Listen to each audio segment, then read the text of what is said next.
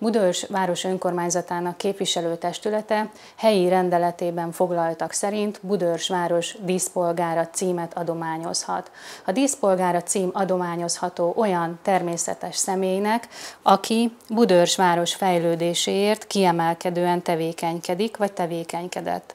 Társadalmi, gazdasági, tudományos és művészeti területen maradandó alkotásaival különösképpen segítette vagy segíti a város jó hírnevét.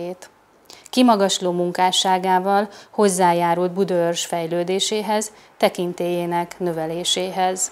Életművével Budaörs, hazánk és más népek társadalmi, gazdasági, szellemi művelődését, a nemzetközi békét, a kultúrát, az emberiség egyetemes érdekeit tiszteletre méltóan szolgálta. Díszpolgári cím adományozását kezdeményezheti bármely budaörsi kötődéssel bíró személy, társadalmi szervezet, egyházi szervezet, valamint a városban működő politikai párt is. Budörs város díszpolgára Budörs város megbecsülését élvezi. Ennek jeléül a képviselőtestület ünnepi ülés keretén belül nyújtja át számára díszoklevelét és emlékplakettjét, valamint a mindenkori minimálbér ötszörös illeti meg őt nevét és önzetlen tevékenységének méltatását Budaörs város díszpolgárainak emlékkönyve című albumban tartja nyilván az önkormányzat az önkormányzat által rendezett kiemelkedő eseményekre, rendezvényekre megkülönböztetett figyelemmel meghívót kap. Budőrsváros díszpolgárának tevékenységét, szerteágazó, széleskörű munkásságát, emberi értékeit és érdemeit egy film dokumentálja, mely film az utókor számára is megörökíti őt.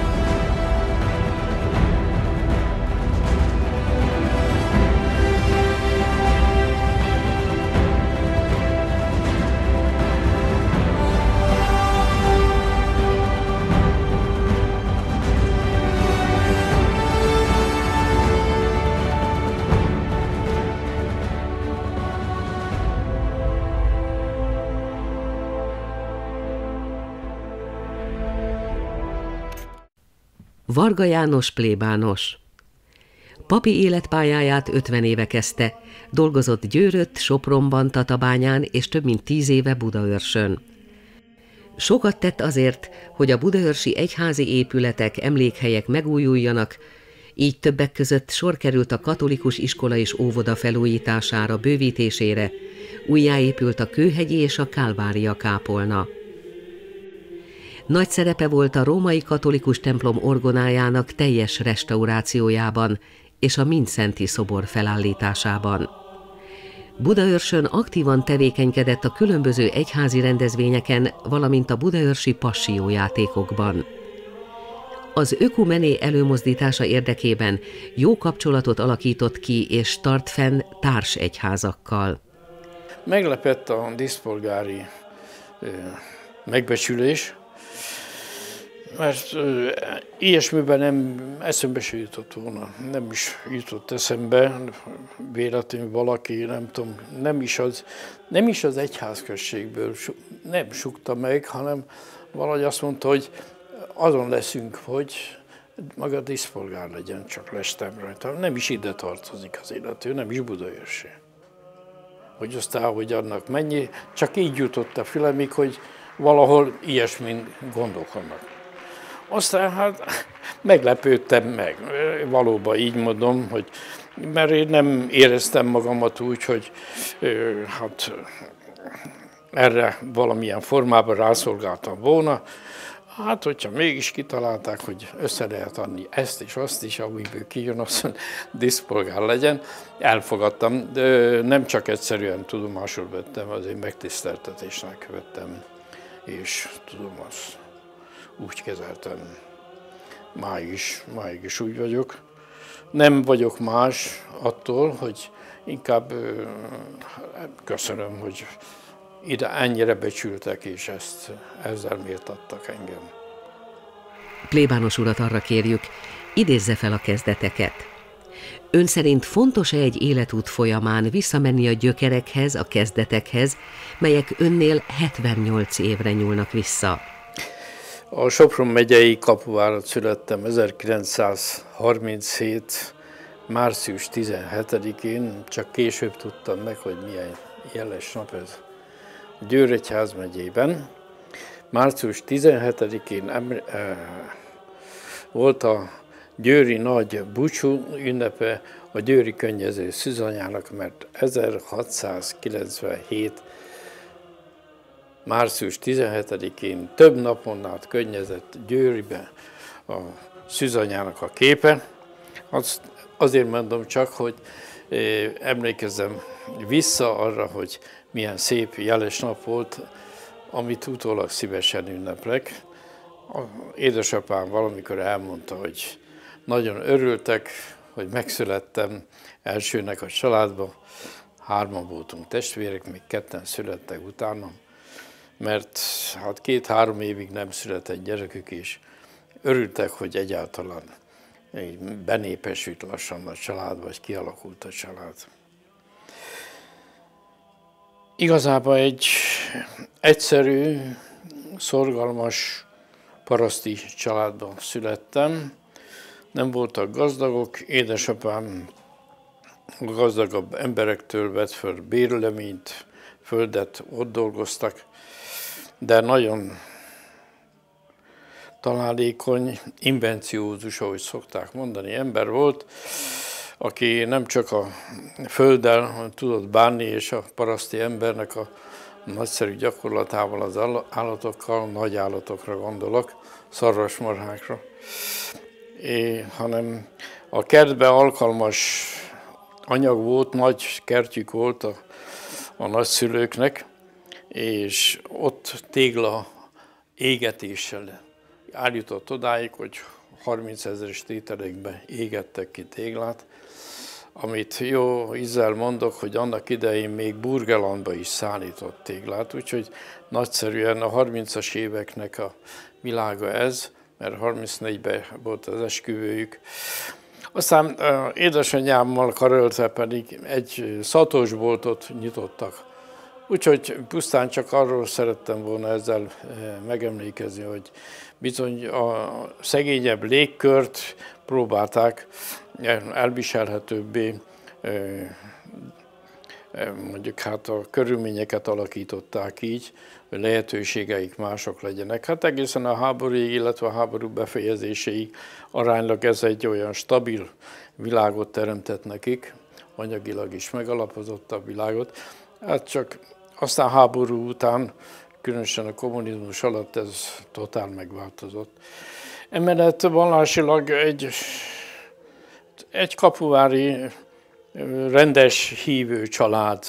Nem volt ez rendhagyós, nem volt rendkívüli, hanem a hűséges templomba járok voltak. Gyerekek, mikor mi iskolába kerültünk, természetes volt, hogy hittanra jártunk, és a, a templom is hozzátartozott az életükhöz, miként az nekünk is. A háború, illetve azt követő változások akkor mutatták meg azt, hogy igazából kik ők, ilyen szempontból, és a sokakkal együtt, amikor markánsan helytáltak hívő módra a, a kommunista diktatúra első rettenetes lépéseivel szembe, hiszen hát a hitoktatást messze vissza akarták szorítani, hát ott kapuvárat a mi világunkba, szinte egy az egybe minden gyerek beletiratva hitanra az iskola igazgatóknak minden keménykedése, vagy az illetékeseknek a minden keménykedése ellenére.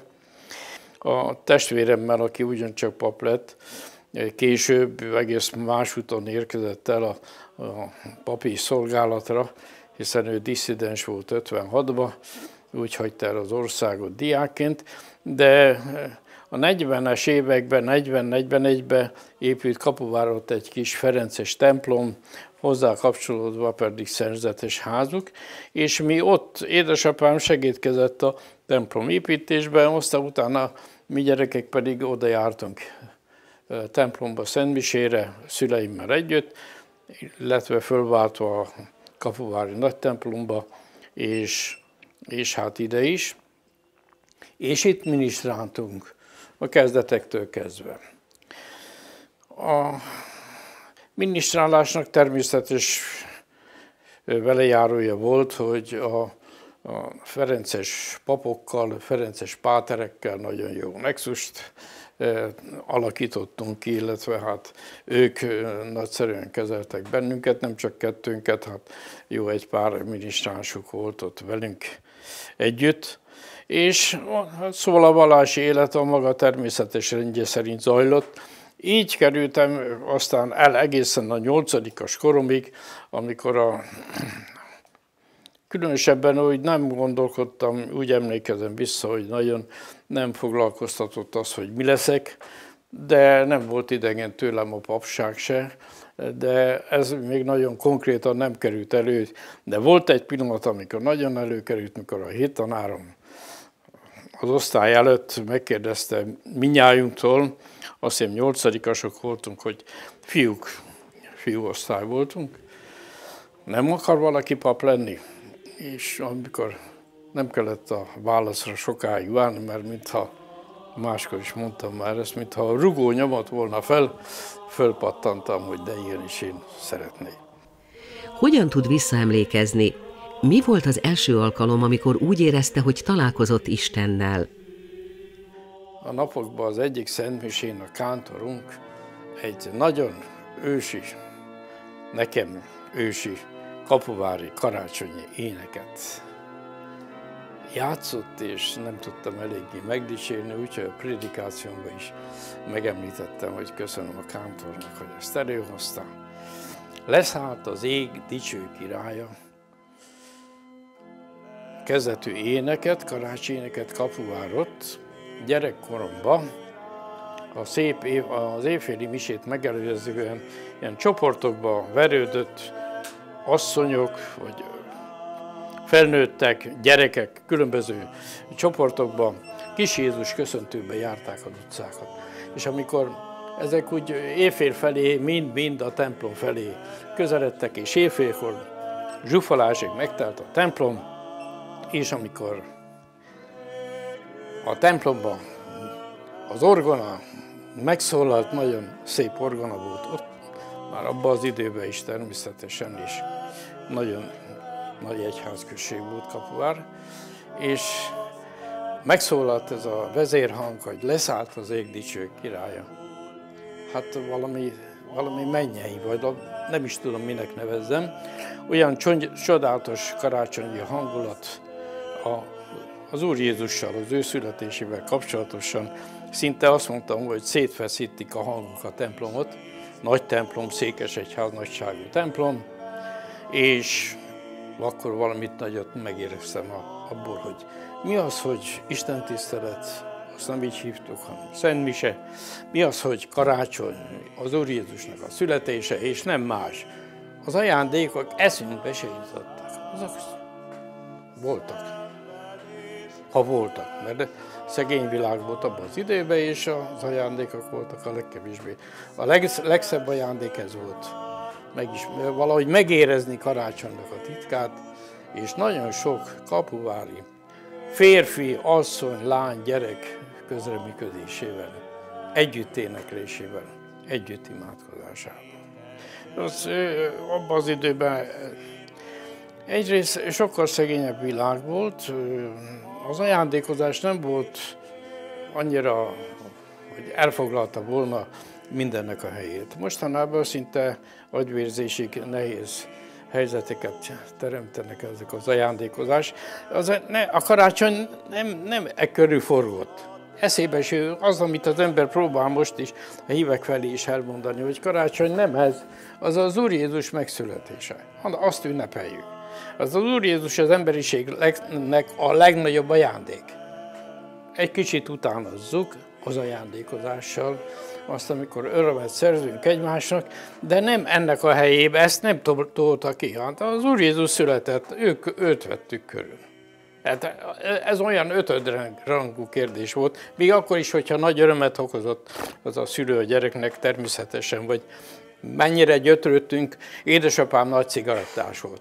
Mikor eljutottunk odáig a testvérekkel, hogy mi, meg mit vegyünk a édesapámnak, és akkor szivart vettünk. Hát az olyan nagy, egyrészt, hogy meg tudtuk venni, de lehet, hogy édesanyámtól kértünk pénzt rá, hogy vegyük, mert nem volt nekünk, hát az természetes volt akkor, vagy fordítva csináltunk, ha valami. De nem, nem. Szóval én emlékszem rá, egy ajándékot kaptam én is. Biztos, hogy mindig kaptunk valamit. De egy, ami olyan, akkor már olyan kamaszkodó gyerek voltam, és bőrkesztyűt kaptam, ilyen nyers bőr, amelyiknek nem voltam bélése, és csak lestem neki, hogy hogy jutottak a szüleim odáig, hogy ezt nekem meg tudták venni. Édesapám például a karácsony falá egy jászolt hozott be, és, és szalmát vagy szénát tett a jászolba, gondolva arra, hogy a, a számára, mivel József meg Mária hozták a kis Jézus, még akkor meg nem születve Mária hordozta, hogy annak is legyen étele, vagy ennivalója. Ez olyan, amit nem lehet elmondani, ezek olyan momentumok, nem is gondolkodtam róla, most kerül csak elő belőlem. Hogy mi a volt a titka? A kis Jézus körül gondolkodtak akkor énekeltek, imádkoztak, találkoztak. Szóval mindent áthatott ez a, ez a hívő magatartás, amit nem lehet nem észrevenni, és nem, nem lehet utánozni se. Azt, azt megéli az ember. És ilyesmiket láttam.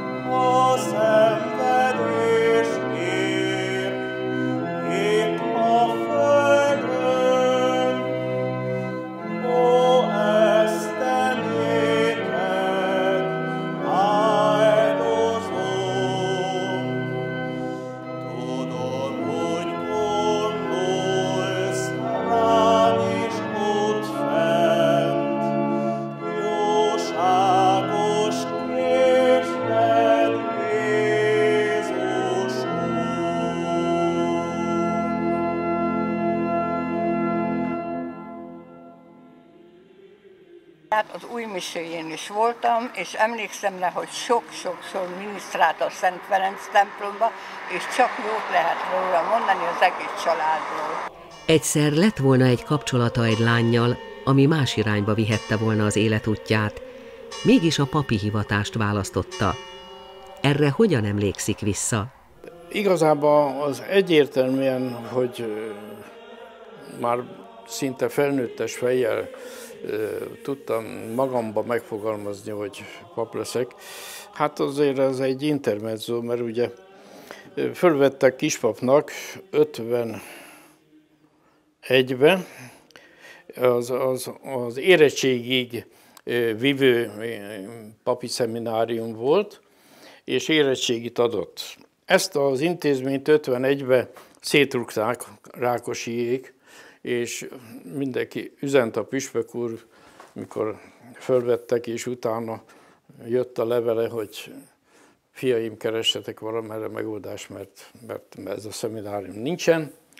És akkor én elkerültem, hosszan lehetne magyarázni, a Győri Textilipari Technikumba.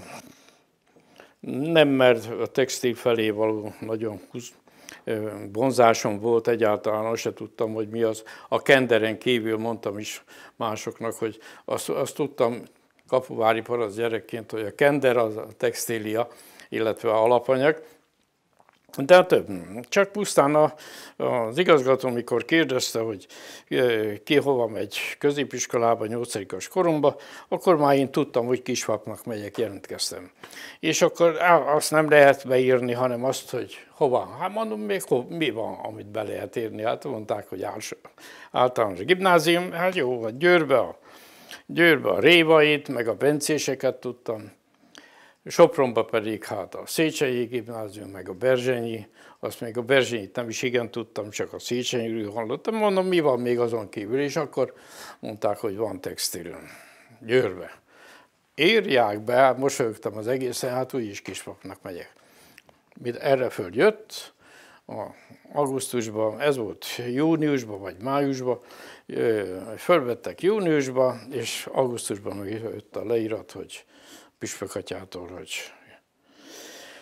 hát fiaim, keressetek magatoknak megoldás, mert nincsen. És a tanáraim tisztelettel emlegetem meg most is őket, meghallották a hírt, hogy ugye szinte kutba esett a téma, és akkor jöttek, hogy ne esek kétségbe. Nem küldtek minden papírt vissza az iskolába, hogy lemondtam, mert textilről lemondtam, és egy-két héttel, három héttel később, mint a többiek megérkeztek szeptember elejébe, Győrbe én is befutottam a textilipari technikumba, ami azelőtt vallásos intézmény volt, de aztán később azért folyamatosan a textilipari technikum ügyeit szolgálta, és hát ott voltam négy évig. Nem változott meg a véleményem, de hát ott persze érettségi előtt voltunk egy-két, egy évvel talán, és volt is ismerős, a lányok is voltak, mert ott koedukált világ volt, és hát volt, aki szimpatikus volt, talán lehet, hogy én is az voltam neki, nem tudom, ezt most már eldönteni elképzelhető. De volt egy olyan, majdnem azt mondom, sorsdöntő pillanat, amikor volt valami sajátos bál, és erre én is kaptam tőle, tőlük meghívót. Aztán úgy a második emeleten volt a tervünk, és úgy mondtam nekik, hogy majd szólok, megmondom, hogyha lementem a portánál, akkor megmondom, hogy jövök, vagy nem jövök. Két, két emeletet jöttem lefele az iskolába, és mikor leérkeztem az emelet az alsó szintre, a leg a földszintre, arra meg kialakult bennem, hogy neked papnak kell lenni portán ott volt a, a, az illető hölgy vagy lány, és mondtam neki, nem megyek el a meghívásnak. Köszönöm. És ott eldőlt. Nem mentem el. Ha elmentem volna, gondolom, hogy valahogy más irány kapott volna a hangulat nyomán az embernek a benyomása, vagy a, a következő lépése. Ez ott nagyon konkrétá vált. Az érettségi után újra csak ugyanott jelentkeztem, ahova négy évvel azelőtt is. És hát voltak ott gumancok, nem a püspök úr részéről, hanem a bajszos püspök, akit úgy hívtak annak idején, az ávó volt ráállítva a püspökre, és annak az egyik tagja azt csináltott nehézségeket. Még azt is mondta nekünk, ketten voltunk, ugyan kapuváriak, kispapok, a másik kollégám az tanítóképzőt végzett, ott én textilt, és ott végeztem, és szereztem technikusi oklevelet is, az érettségiben lett. És aztán azt mondja, mit gondolnak maguk, hogy az állam tanította magukat, és maguk meg ott hagyják az egészet. Aztán a szegény békepapok, akik ott akkor körülöttük voltak, azok nem mertek megszólalni, mert tudták ki, ez ilyen hatalmasság volt. És akkor én vágtam ki, húztam át a vonót, amikor mondtam, kedves uram, mi négy évvel ezelőtt is ide készültünk, nem tehettük meg ismerős dolgok miatt. Most ugyanazt tettük, mi nem lettünk hűtlenek, senki sem. 1961-ben pappá szentelték. Ezután milyen jelentős állomások következtek? Pappá szentelésim után Győrbe az egyik vallásos negyed, a Nádorvárosba kerültem káplánnak, ott voltam 1961-67-ig, 6 évig, és hát ott az iskolában nem tettük be a lábunkat, mert hát akkor nem szabadott, nem csak ott, máshol sem. A hitoktatást valamilyen elemi szinten jóformán a a szentmisék között. Vasárnap ott is volt, hogy három-négy mise, három legalább délelőtt, meg még esti, és a délelőtti misék közben fél óra, egy óra hoztuk össze a gyerekeket, alsó tagozatosokat, felső tagozatosokat. Nagyon szép számmal például tudom, alsó tagozatosok az az enyém volt, mert ketten voltunk káplának, 100-120 gyereket hoztunk össze. A nagyok, a felsősök mondjuk 70-80-an voltak, azt a másik kolléga tartotta. Számtalanszor visszahallottuk azt, hogy nem lehet hitoktatás, hát az mi neveztük mindennek csak nem hitoktatásnak. Jó, hát az, megtalálta az ember a módját, vagy átvettük az elődeinktől, az idősebbektől, a rutinosabbaktól, a váltfüliektől az, hogy hogyan kell kivárni magunkat. De ne, ezeket nem emelegetném úgy, hogy rettenetes keresztek voltak. Fájdalmas dolgok voltak, nehezek voltak, de abban a világban ez, ez természetes volt. Éreztük azt, hogy ha van meggyőződésünk, azért ki kell állni, vagy, vagy hogyha olyan helyzet van, akkor nem kell visszakozni, nem kell bebújni a, a föld alá, hanem ki kell lépni. És abban bent volt az, hogy elhelyezik az embert. El is helyezték az embert. Jó, történt ilyesmi. Én azt hiszem, hogy kölcsönösen segítettük a hívek és a papok egymást. A papoknak érthető volt az, hogy kiemelten a feladatuk volt az, hogy a hívő magatartást és a, az Úristenbe vetett hitet erősítsék, és a, a Krisztushoz való ragaszkodást rajta keresztül, az egyházhoz való hűséget azt ö, valahogy közvetítsék. A hívek meg ennek nyomán érezték, az, érezték az istentelenséget érezték. Hát az, az, az valami bosszantó sötétség, fájdalmas. A legegyszerűbb embereknek is az, hogy milyen sötét, durva világ volt, abból a, az istentelenségből fakadó életstílus, azzal nem tudtak azonosulni. És hogyha valaki még bátorította őket, hogy tartsunk össze, merjünk hívők lenni, akkor ez a kölcsönhatás biztos, hogy megvolt. És átsegítettek bennünket néha egy, egy nagyszerűen hívő egyszerű ember, vagy a, megerősítette a papot a szolgálatába, vagy, vagy a papoknak a nagyszerű mondjuk áldozatvállalása biztatást adott a híveknek, és ezek terjedtek azok, nem, nem azért, mert a, mert a, a műholdon keresztül tájékozottak az emberek, hanem, hanem azért, mert látták a egészséges élet, vagy egyáltalán az áldozatos, áldozatos életet is. Az nem egyszerűen szimpatikus volt, hanem meggyőző volt. A papi hivatásnak vannak nehézségei. Ezeket hogyan lehet kezelni, hogyan lehet feldolgozni? Én kisvapkoromban tudtam azt mondani, hogy ha valami nem ízlett esetleg, Jancsi, ha pap akarsz lenni, akkor ez vele jár. Jó, és el volt intézve, és nem hezitáltam, hogy most e, ugyan mit, mit szóljak az előjárónak, vagy a kollégának, vagy egyáltalán akivel, ha volt valami ilyen. Én különben nem voltam egy veszekedő típusú ember, gyerekkoromban se, fél, e, meg később se, de ez nem először fogalmazódott meg, hogyha te pap akarsz lenni, mondtam magamnak, akkor, akkor ez vele jár. Vannak dolgok, amiket föl kell dolgozni mostanában mondjuk ezeket a szép szavakat, de akkor ez vele jár. Tudni kell azt elviselni. Úgyhogy ez később is alapvető motivum volt, ha netán nehézségem volt, akkor nem estem el először kétségbe, hanem hogy azt mondtam, hogy ez úgy látszik, vele jár a papi életemmel. És, és biztosra veszem, hogy jó egy párszor ezek a, ez a mentalitás átsegített esetleg kritikus helyzeteken is. Egy újabb politikai forduló 1956. Mi történt ezután? Az 56 után ugye mondták, beszélik azt, hogy konszolidálódott a világ, nagyon Hát az nagyon szépítve közelítik meg, nem volt az könnyebb helyzet. Biztos, hogy a vallási vagy hívő világ szempontjából nem. Kádárék nagyon, nagyon vallásellenesek voltak, még akkor is, hogyha az ő tónusa néha kicsit úgy szelidebb, vagy olyan emberségesebbnek tűnt.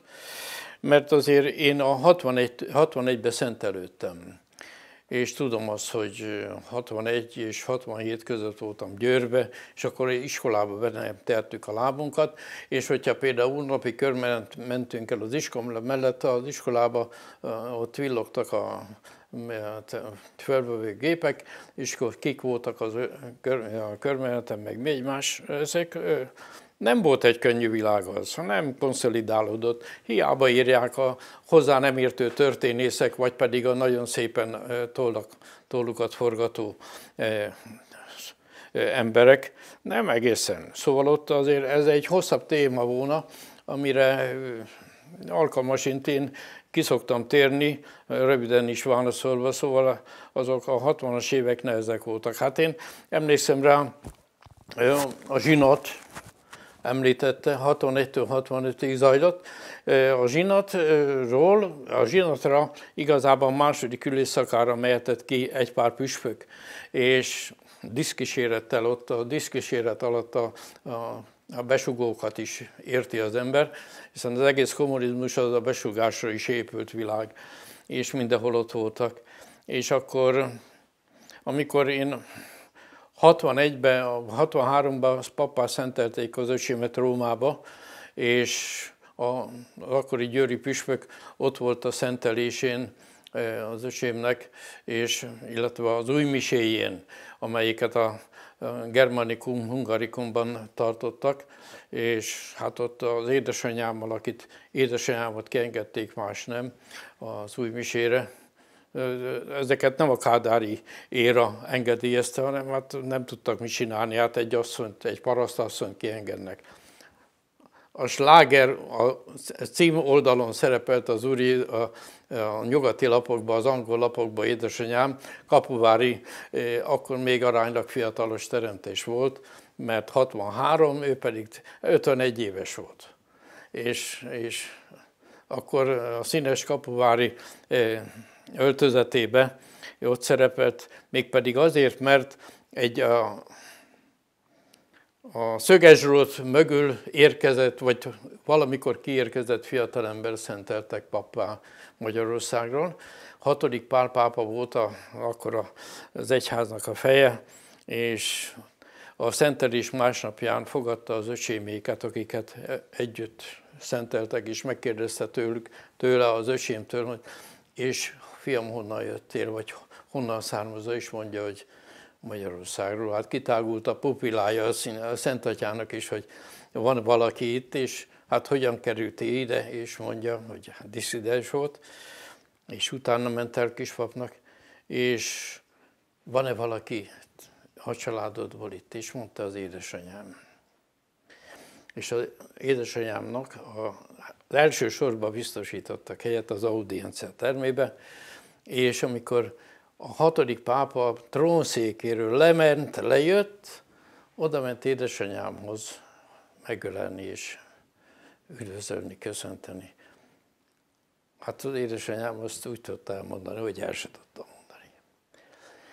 És akkor az olaszok pedig, akik ott voltak a teremben, oda mentek, szinte rárohantak édesanyámra, hogy ki ez, akihez a pápa lemegy. Folytatás. Következő évben az öcsém egy kvázi új misét, latin kifejezés, vagy mint egy új misét mondott Tirolba, Nyugat-Tirolba, és oda édesapám, hugom meg én ki tudtunk menni Ausztriába. De csak kiutazás, meg visszautazás engedélyt, és én az öcsémmel megbeszéltem ott kint, ők édesapám, húgom hazajöttek, kettesbe én elmentem vele Rómába, kilenc hónapig voltam Rómába, Hát nem volt engedélyem, mert vízumom se volt, hanem Ausztriában valahogy megcsinálták. Annak a falunak a gyereke volt a bécsi főrendőr, aztán annak segítségével sikerült egy olaszországi vízumot kihozni, és kilenc napig el voltam. És utána, amikor hazajöttem, akkor jött a tortúra mert akkor hát mindenképpen besugót szerettek volna belőlem csinálni, miután prés alá tudtak tenni, hát nyugaton járt ez, meg lehet szorongatni. Hát elvittek, akkor Győrbe voltam Káplán, Sopronba, határsávon keresztül, mint a kés a vajon, úgy mentünk át, nem tudom, kik voltak azok a tisztek, belügyiek, és ott többször elvittek, és ez az utolsó az, amit el akarok mondani, és akkor mindenképpen rám akartak fogni mindent is, hogy írjam alá, egy este 8-tól reggel 2-ig voltam kiallgatáson náluk. Ilyen vastag falu ajtók mögött Sopronba. És aztán leíratták velem, hogy mit kellene csinálnom, írjam alá. Nem írom alá. Miért, mit nem ír rá? Húzza ki, amit nem ír rá. Kihúztam mindaz, mindegyet, amit írtam. Jött a következő, miért nem írja alá? Itt van az Úristen, az, amit úgy nevezünk, hogy a Szentlélek. Majd a, megadatik nektek, hogy mit kell válaszolni, hogyha olyan helyzetbe kerültek. Éjfél után kettőkor, este nyolctól vallattak. Éjfél után kettőkor abszolút fáradt lehettem, mégis olyan tökéletesen jött a válasz, hogy miért nem, azért mert minden magyar állampolgárnak ez kötelessége, de nem kell írásba adni. És ez mindig az. Jogilag megfogalmazva, hogy mindenkinek ez a kötelessége, hogyha valami állam ellen is talál. De nem kell ezt írásba adni. Az Úristen volt az, aki nekem súgta, hogy ez kell. Hát ezt éreztem minden, mindenkinek ez a kötelő. De nem kell írásban, de ez nem tudom honnan jutott, honnan jutott, az sugott az Úristen. És vittek hazafele. És aztán kapuvárnál mondtam, hogy engedjék meg, hogy kiszálljak, hogy szüleimhez hazamegyek. És még ott könyörögtek, hogy, vagy hát szeriden szóval, hogy még változhathatok ám, mert még, még érvényes lesz az aláírásom. Mondom én nem. Ne felejtse, fogunk még találkozni. Utána kezdődött több, elvittek. Azt akkor disponált a püspök Győrbe, akkor Sopronba, lelőtték. A püspök nem is tudta, hogy miért nem, nem engedik. Nem engedtek Sopronba engem. Csak három év múlva. Akkor elkerültem a Győr megyében leg, egyik legjobban leépült plébániáról Szőnybe. Komárom mellé. Sáron, és, és mosolyogva mentem. Tudtam azt, hogy ez büntetés, és azért, mert nem írtam alá. A legszebb három évem ott volt káplánfejjel, biciklivel jártam ki Almás füzítőre, és, és lépcsőházakba tanítottam hittant, meg készítettem elő bérmálásra. Szentpáli időnek neveztem magam életéből azt, ami ott volt. Plébános úr, milyen volt a kápláni időszak, illetve mi következett azután? Hát én hosszan voltam káplán, amikor elkerültem 1970-ben Sopronba, és akkor 78-ban 9 évig voltam a Szentgyörgybe káplán, az a város közepe, és két évig voltam a Szentlélekbe, utána meg öt évig a a domonkosoknál, de a nyolc év, a nyolcadik évnél megszakadt, mert egy rettenetes autókarambolom volt. Édesanyámmal mentem Kapuvárból Sopron felé, és akkor történt, hát a részletei még most is vannak nyomai, és hát a karamból következtében egy évig nem voltam szolgálatba, oda-haza voltam, miután össze raktak térdembe szögecsek, veleűrszög, 6-8 bordám törött el, kettős látás, szóval leépülőbe voltam, aztán utána talpra álltam, és akkor, akkor hát lassan, az orvosok még nem engedtek volna, és én magam indultam el egy éves kihagyás után, és két bottal mentem még a Sopronból, a plébániáról a templomba, és lassan azért valahogy fölépültem, és egy jó fél év után a püspök áthelyezett a Szent Lélekbe, ott voltam két évig, és utána pedig, mikor már körülbelül úgy használható stádiumba kerültem, akkor ott a Domonkos templomba. Csodálatos öt éven volt, Igazából még egy kicsit, hogy nagyon éreztem azt, hogy rokkant állapotban vagyok, de nagyon életek mellettem a egyetemista csoportok, meg, meg középiskolás fiatalok, szédületes volt az, ami ott történt. Ez föltűnt a KISZ-nek is, a Kommunista Ifjúsági Szövetség központi épp intézményéből küldtek le egy riportert Sopronba, és megszólított, hogy egy interjút szeretne velem, mert olyan események voltak ott a templomban, például keresztút, de zsúfolásig terült templom. Ez, ez volt 85-ben. Igen, 85-86. És, és megkérdezték tőlem, hogy hát az esemény után jön a riporternő, hogy hát mi a titka az előbb ugyanígy válaszoltam a kérdésre, a föl nem tett kérdésre, hogy hát mi az oka annak, hogy ezek a, így tele van a templom, így fiatalok csinálják, és fiatalsággal mindennel.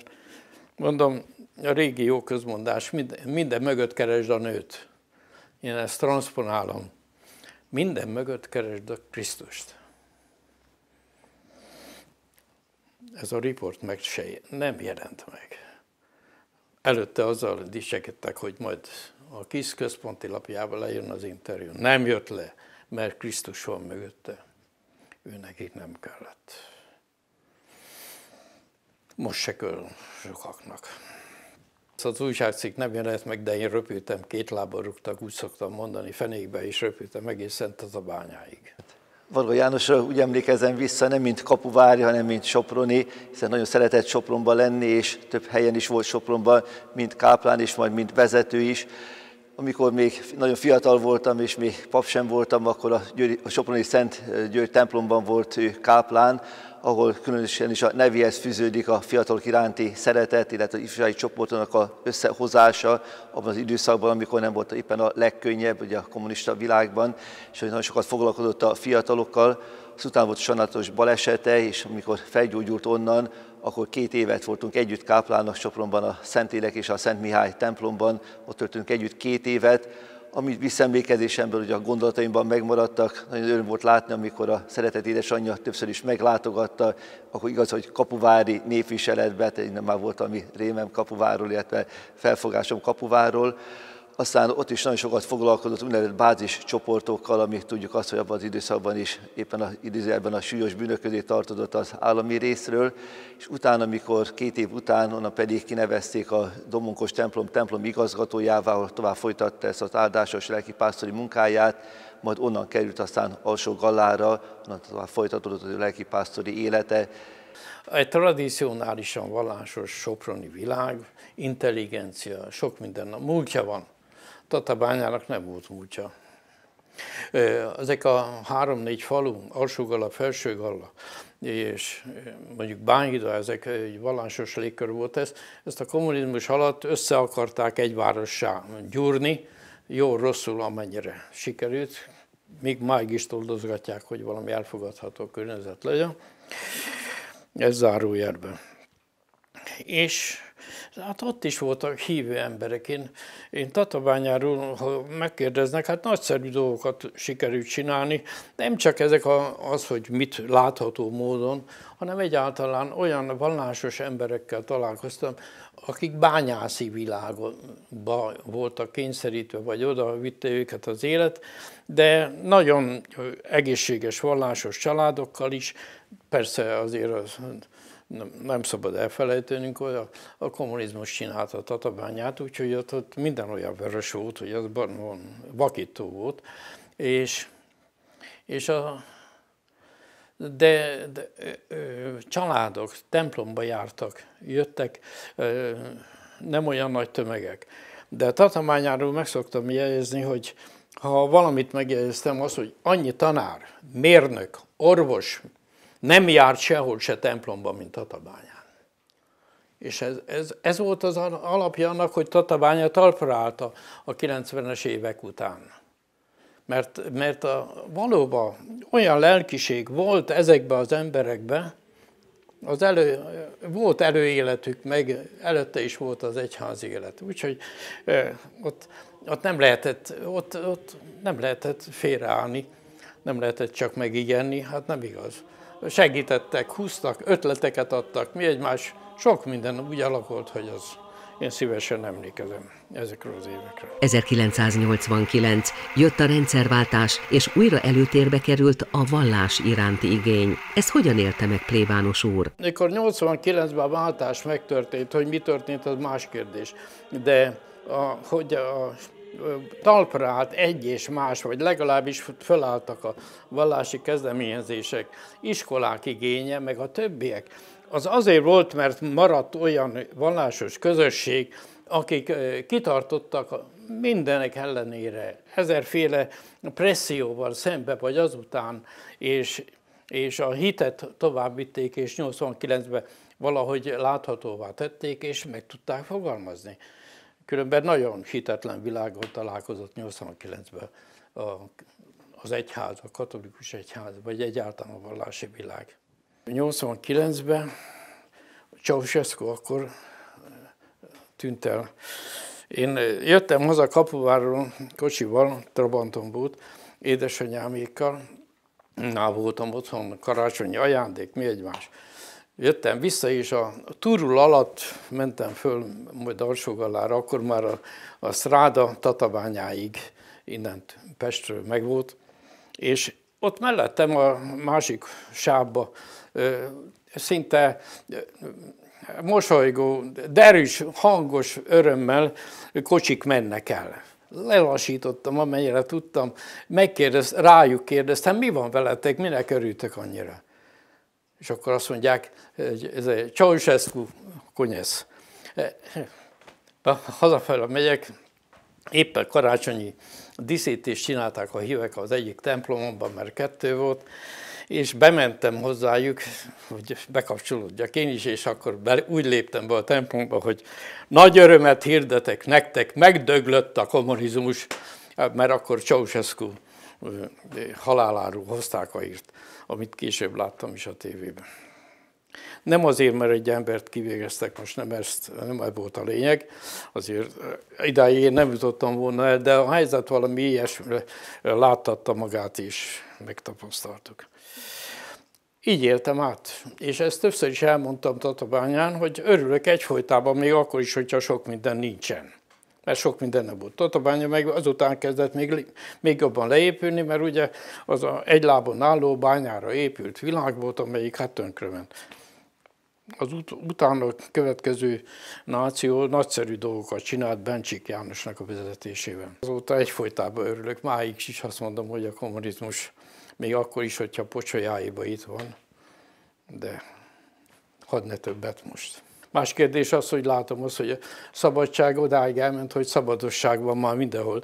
Annak nem örülök, de attól függetlenül az, hogy az a presszió, meg az a világ, amelyik a kommunizmus teremtette, az megszűnt. Hát itt van a másik véglet, a liberalizmusnak minden szörnyű következménye, amelyik a másik nehézség most mindig olyanok ismertem meg, aki a hitében nagyon erős volt, sok viszontosságon, sok mindenem keresztül papi életében is, és mindent megtartotta őt a hitében és szolgálatában, a híveknek tudta szolgálni, és hogyan szokták is mondani, és a papra is nagyon is illik, és János Atyára különösképpen is mindent megtette az Isten dicsőségére és az emberek lelki javára.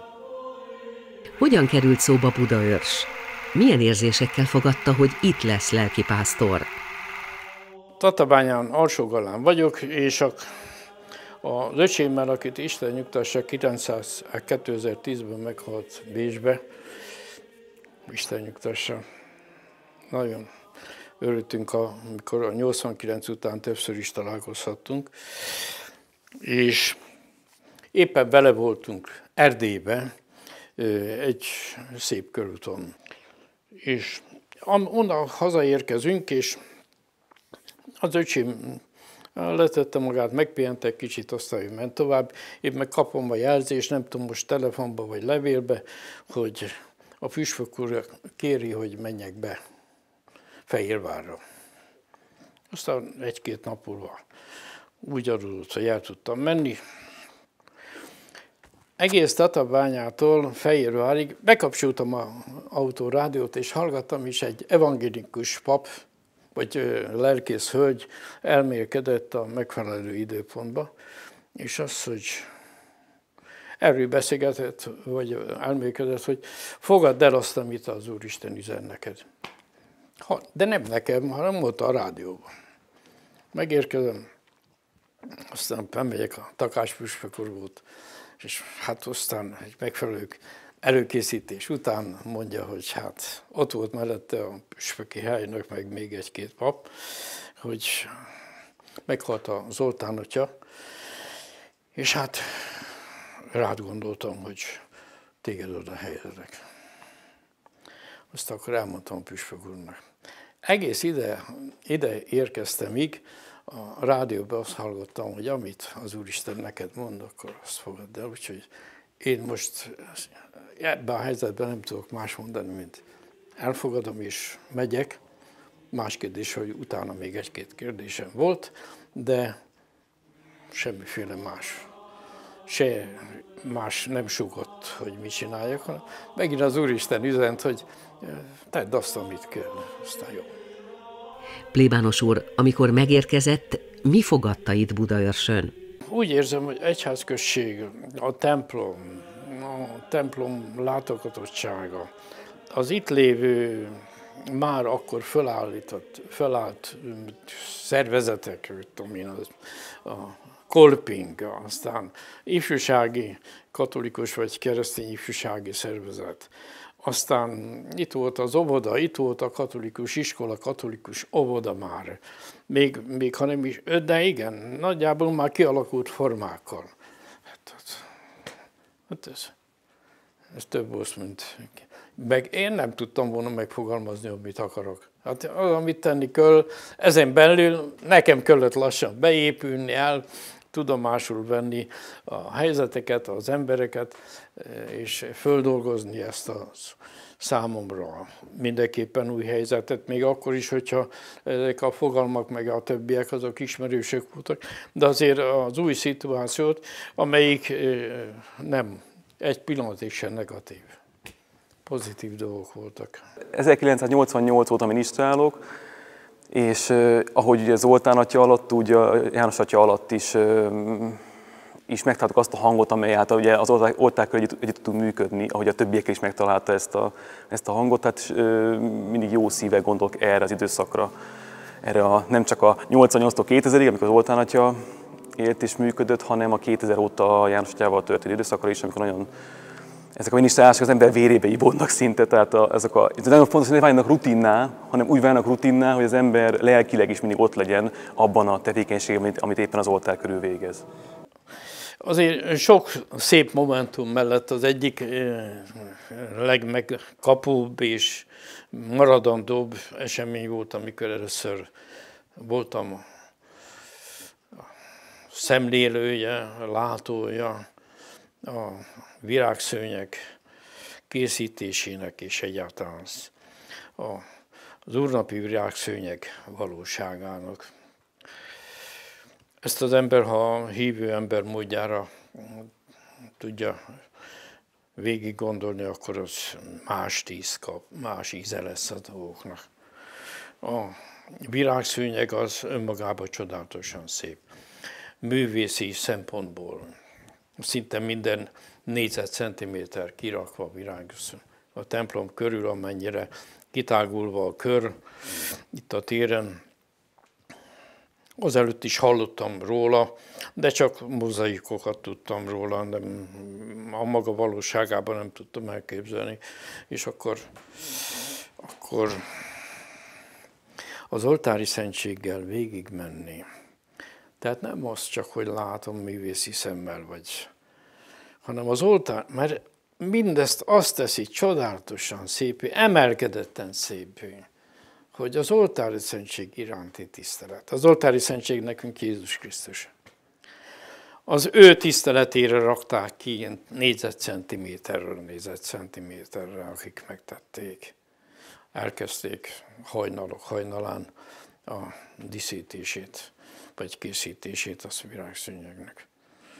Hát megdöbbentően szép, és nem hallottam, mondom, doxológiákat róla, de ezt megtapasztalni valami fölem, messze fölemelő, fönséges érzés volt. Én azóta ismertem meg, amióta ide került, hogy a Szent Györgyvölgyi plébános úr halála után került ide, és hát egy jó pár napig, akkor hosszabb ideig nem volt plébános Budaörsön, és amikor először találkoztunk, ami nekem akkor feltűnt az, hogy szeret énekelni, és van hangja, mert az első miséken, amikor vasárnap mise volt, akkor énekelt, ami annak előtte kicsit hiányoltam, mert Szent György atya nem szívesen énekelt, nem voltak olyan adottságai, és a közben itt volt káplánok közül sem mindenkinek volt olyan adottsága, hogy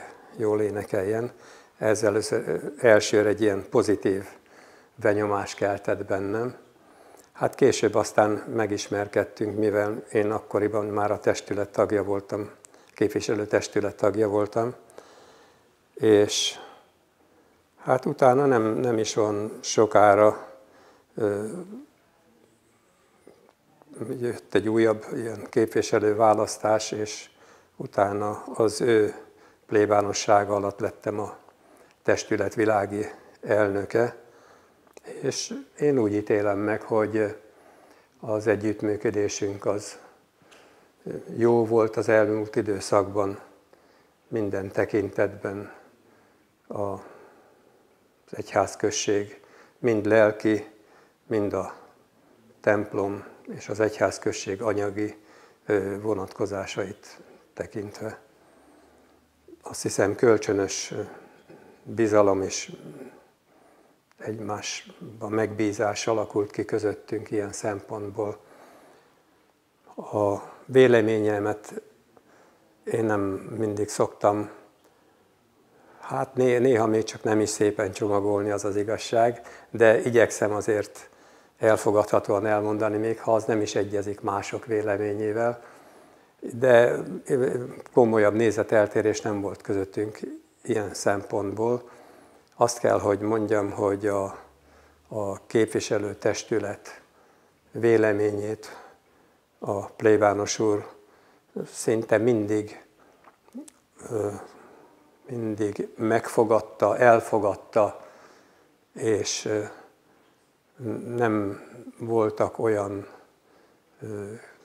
se közöttem és ő közte, se a képviselőtestület és ő közötte olyan komoly véleménykülönbségek, vagy tartósabb nézeteltérések, amelyek gondot okoztak volna.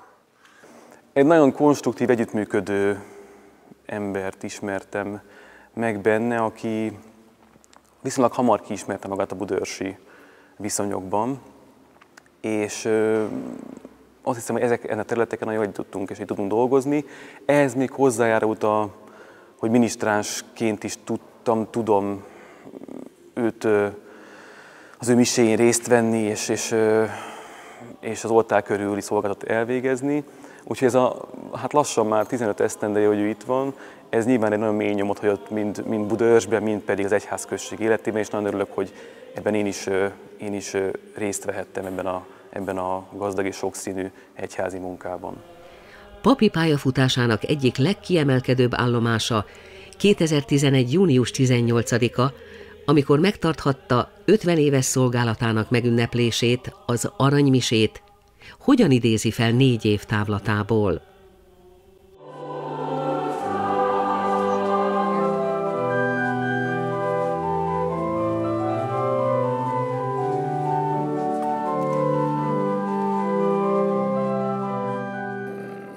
Túlságosan én nem exponáltam magamat.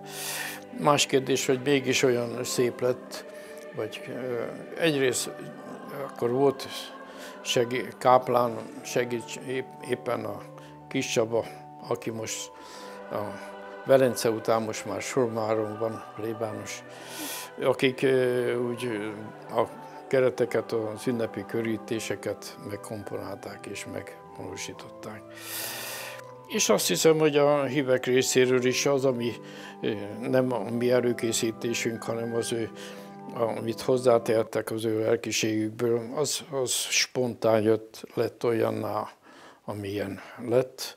Itt Budaörsön, hát aztán az, hogy egy ünnepi szendvise, pap kollégák, Azért azt jó tudnom, még akkor, mert el tudom hinni, hogy az ősi, mondjuk Győregyház megyés keretek között, ahonnan indultam is, ahol voltam 32 évig pap, itt 93-ba kerültem át a Fehéregyház megyébe, és egy egészen új légkör, már új ismeretlen papok, kollégák, az lassan azért ismerősök lettünk kölcsönösen egymás számára, és aranymisére is, hogyha nem az egész egyházmegye jött el, máshol se szoktak elmenni az egész egyházmegye, de ha kevesebben voltak, nem voltak kevesen papkollégák, annak ellenére, hogy mondom, nem voltam egy ősi itt, itt született kollégájuk, nagyon szép számmal megbecsülve.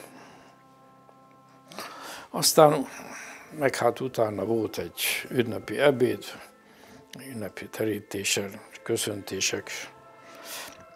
Hát jó leső volt az ünnep, az, amit hát kölcsönösen én is örülhetek a híveimnek, vagy a, akik körülvesznek, vagy akiknek a szolgálatában élek, és talán ők is hogy ezt, ezeket fejezték ki a sajátos gesztusaikkal.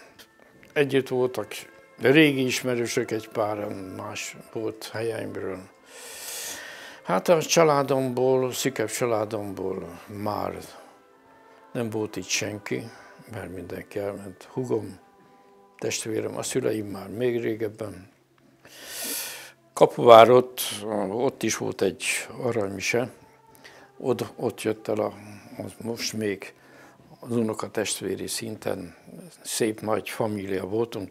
Édesapám még heten voltak testvérek, édesanyám még hatan, azoknak a gyerekei, mint amely, aki még élt, az ott volt, és nem csak ők, hanem Kapuvár, mint ilyen.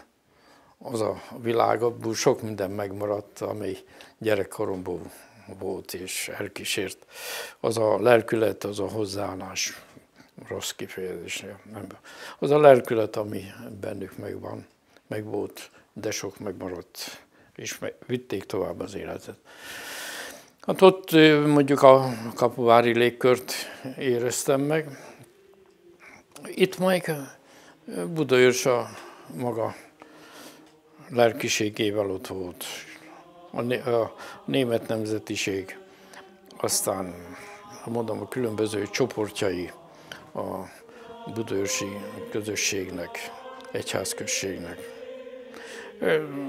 A megbecsülésnek sokféle formája megszólalt. Csak örül, köszönetet tudok mondani, és most is valami ilyesmi lehetett a, a, a Szent ami bennem volt, hogy az Úristennek azt mondtam, köszönöm. A budaörsi német nemzetiségi önkormányzat jó kapcsolatot ápol az egyházzal. Számtalan közös ünnepet tartanak, a húsvéti keresztúttól és örömúttól kezdve a karácsonyi ünnepeken keresztül, a kápolna építésén, felszentelésén, a kálvária szobrainak újjáépítésén, felszentelésén keresztül, az egyházi óvoda iskola gondozásáig, ahol a diákok nevelése és oktatása közös, jól szervezett feladat. Az egyik jelentős esemény a 2000 óta három évenként megrendezett Budaörsi Passió, mely a kőhegy tetején lévő szabadtéri előadásoknak egyik kiemelkedő rendezvénye. Az egyház részéről Varga János plébános úr az egyik kapocs szerepét tölti be. Csak mindig nagyon jó partner volt, abban is partner az egyház, az atyával az élen hogy a közös programokat, hisz azért mondtam azt, hogy a svábság és a vallás a szorosan összefügg, és ezt nem is lehet elképzelni a nélkül. Mi mindig egyeztetjük a programjainkat. Itt gondolok az úrnaptól kezdve a templom búcsúig, a kőhegyi kápolna ünnepélő búcsújáról, akár még a passió-játék is, ami a kőhegyen zajlott. Tehát ezt nem is lehet másképp csinálni, szoros együttműködéssel, de ebben az atya nekünk mindig nagyon jó partnerünk volt, és én mi biztos vagyok benne, hogy az is marad. Itteni papi életemnek egyik nagyon nagyszerű színfoltja a helyi német közösségnek a passió játék, amelyik a 30-as években volt virágzásban, nagyon kivirágzott, és aztán a háborús évek azok megállítottak mindent, az utána való meg egyértelműen. Aztán hát, mintha én nekem új világ volt Budaörs, minden összetevőjével együtt. A budaörsi passió, mint ilyen, akkor találkoztam ezzel, ezzel, a gondolattal, témával, amikor valóban nagyon konkretizált, és beszélgettek róla, hogy jönni van, és Előtte, mielőtt én ide érkeztem, akkor volt itt a Jókai Színházban egy sajátos passiónak a megjelenítése, de utána hát az igények a német közösség részéről különösen is kibontakozott, és aztán hát a, mind a két passiónak, ami a kettő vagy három passiónak, ami az elmúlt időszakban 2000 óta volt, hát szinte mindegyiknek lehettem a szemlélője, nem mint szereplő, hanem mint a plébános, aki hát bizonyos mértékig természetes, hogy ezekben a témákban is ott van. Az előkészítő megbeszélésekben a, a művészeti rendezővel, meg az illetékesekkel a, a Heimat Múzeumban tárgyalásokon két-három alkalommal vettem részt, amelyikben hát a Szentíráshoz való hűséget próbáltam egy kicsit hangosabban mondani, vagy bátrabban mondani, amit nem, kell túlságot, nem kellett túlságosan erőtetni, elfogadták, illetve a meglévő szövegkönyvben csak ha kellett valamit korrigálni, annak megfelelően megcsinálták. Úgyhogy ilyen természetű besegítésem volt, azon kívül pedig az, hogy a, a fönt lévő kőhegyi kápolna az ennek a szolgálatában volt abban az időben, amikor a passió zajlott, és, és hát az, hogy micsoda mennyire az érdeklődés középpontjában volt akkor Budaörs ilyen szempontból, amikor ennek az előkészítése akár a, próbák voltak, akár pedig amikor jöttek az előadásokra az ország minden részéből, hát ez valóban szinte központja lettünk Magyarországnak ilyen szempontból, és hát ezek nagy, nagyszerű tény, tények, és sok mindenről beszélő tények voltak és reméljük, hogy lesznek is, ha bár mostanában hallottam azt, hogy nem most lesz a következő, a következő ebben az esztendőben, hanem talán három év múlva, nem tudom pontosan, nem akarok dátumot mondani, mert nem vagyok hiteles ebbe a, a kérdésbe. De a, a passió, hogyha az előbb említettem a úrnapi virágszőnyeget, az egyik csodálatos nagy pillanata. A másik, a biztos, hogy a, a passiónak a, a, a, olyan természetű bemutatása, mint a budaörsiek megcsináltak, nagyszerű. Ne, nem kisebb, mint a többi európai, akik. Én voltam kint Ausztriában is, az éppen ezeknek kapcsán, hát ott se láttam ö, nagyszerűbbnek, mint amit itt látott a hegyen, az alkalmas, nagyon alkalmas helyszínen.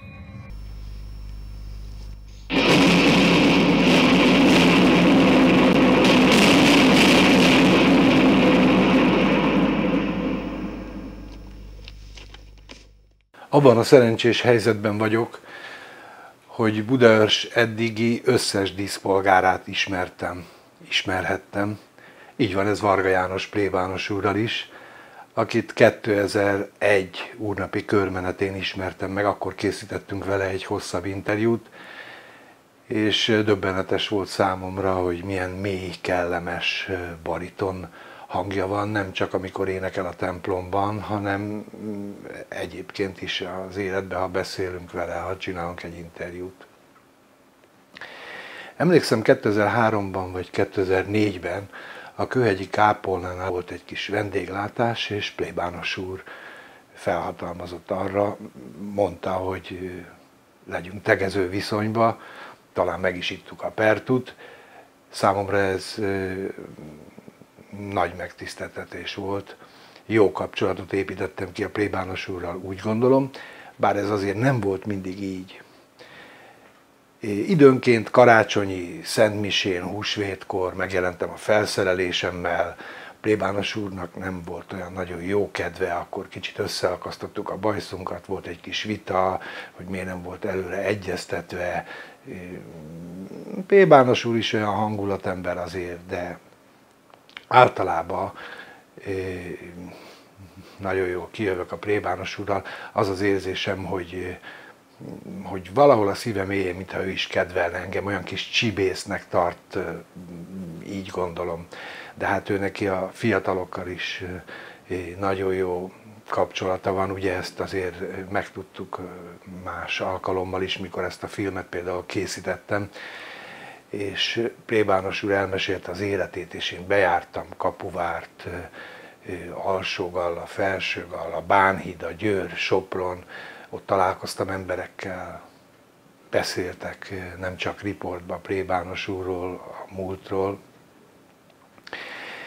Egy alkalommal felkerestem a plébánián, és engedélyét kértem, hogy egy régi anyakönyvi kivonatot felvehessek. Nagyon készséges volt, személyesen ő kikereste visszamenőleg a dátumot, segített a felvételni, aztán leültünk, beszélgettünk az élet nagy dolgairól, Budaörstről, a múltról, én mesélhettem a, a családomról, az ősökről, plébános úr is mesélt. Úgy gondolom, hogy Budaörs egyház közössége, a hívő emberek nagyon sokat kaptak, és kapnak, és bizonyára így lesz ez a jövőben is plébános úrtól. A Székesfehérvári Egyházmegye nem csak egy nagyon szép történelmi múlttal dicsekszik, amely visszamegy Szent Istvánig, nem csak kiváló püspökökkel büszkélkedhet, köztük a legfényesebb Prohászka Ottokár csillaga, hanem dicsekedhet a történelmi múltban, a közeli múltban, de a jelenben is kiváló lelkipásztorokkal. Én 2003-ban kerültem a Székesfehérvári Egyházmegyébe, és akkor ismertem meg Varga János atyát is, aki az én szememben ahhoz a kiváló réteghez, körhöz tartozik, akik az egyházmegyét előbbre viszik, akik a papságot, a papi szolgálatot úgy tudják megélni, hogy nem csak a maguk üdvösségét mozdítják elő, hanem a rájuk, rájuk bízott hívek közösségét is Isten felé tudják vinni, és ezzel tudják a körülöttük élők békéjét és emberi magatartását, emberi életének a minőségét is javítani. Úgy ismerem János atyát, mint aki egy egyszerű ember. Az életvitelében, gondolkodásmódjában, abban a millióben, amit kialakított magának, most már elég hosszú ideje van Budaörsön, mondhatom, hogy szinte puritán egyszerűségben él. Ez az egyszerűség, a pompa, kényelemnek a keresésének a teljes hiánya, ez imponáló. Olyan Ferenc pápás, annak ellenére, hogy akkor, amikor ő budaörsi plébános lett, még nem tudott senki az egyházban arról, hogy egyszer majd lesz egy olyan pápája a katolikus egyháznak, akit Ferencnek fognak hívni. Nem csak ez a magatartás, ez az emberi tartás imponáló, hanem az, ahogy ő a papságát megéli. Úgy ismertem meg őt, mint aki mélyen imádságos ember, aki számára fontos, hogy ő maga imádkozzon, és akinek fontos, hogy a híveit is az imádságra tanítsa ezért vezette be, hogy naponta van szentségimádás, lehetőséget biztosít a híveknek, hogy az oltári szentséggel tudjanak találkozni. Ez az adoráció, ahogy a régebbiek mondták, ez az ő lelkületéből fakadt és onnan jött. Mindig örömmel látom, ha Budaörsre látogatok, hogy körülveszik őt a fiatalok, a felnőttek, a házasok, a családok. Örömmel van az iskolában, az óvodában, örömmel tevékenykedik ezekben az intézményekben, de természetesen más egyházi vagy egyházhoz közeli intézményekkel is megtalálja a hangot, a kapcsolatot. Most például készülünk a Kolping évforduló méltó megünneplésére. Ez a buzgóság, ahogy a hívek rendelkezésére áll, ahogy igyekszik nem azt nézni, hogy hogy lehet valamit megnehezíteni, elutasítani, hanem azt keresi, hogy hogyan tud segíteni az embereknek, hogyan tudja az ő Isten keresésüket gördülékenyebbé, közvetlenebbé tenni. Ez egy olyan tulajdonság, ami számomra, mint az egyházmegye püspökének nagyon fontos, és amelyben úgy látom, sokaknak példát mutat. Nagyon örülök annak, hogy egy olyan ember, aki nem harcos, talán úgy látszik, hogy nem küzd, nem vitatkozik, nem cáfol, nem hangoskodik, hanem a békességet keresi. Keresi azt a, azt a alkalmat, azt a modus vivendit, azt a, azt a szituációt, amiben békességben megtaláljuk a tovább lépést. És én úgy látom, hogy ezt teszi a város felé is, a városi vezetés felé is, ezt teszi a városban meglévő kisebbségi önkormányzatokkal, azokkal a kapcsolatteremtésben egy ember, aki szolgálni akar.